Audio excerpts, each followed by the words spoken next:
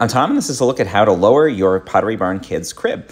So the crib is held together with these little Allen bolts. This one is holding the front on, and we're actually gonna remove four that hold the platform that supports the mattress and then lower it down.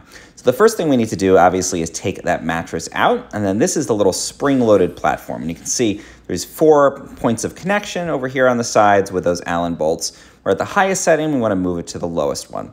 So first we're gonna take out these little bolts. You can use the included Allen wrench or you can use one from your toolbox. Um, take those out and then we're slowly gonna lower this down. I like to do one side at a time. You can also have a helper hold one side as you loosen them, sometimes makes it easier. Now that it's lowered, um, we're gonna find the lowest point of the little holes on the side there. You can see that down here. There's three different points on most of the cribs. So we went from the highest, we're gonna go down to the lowest here. And we're gonna start by just um, hand tightening. So just put the, uh, the support up there, hand tighten, go around to all the different sides. Again, you can have a helper help you out down there. Um, and we're just gonna put them in a little bit by hand here. That makes it a bit easier.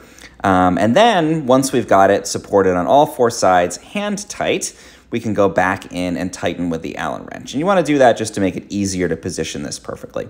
So once it's secure, it's all screwed in there, it's very solid, we're at our lowest setting. We can take our mattress, plop it back into the crib, and you are good to go with your lowered crib. The whole process should take about 20 minutes at the most.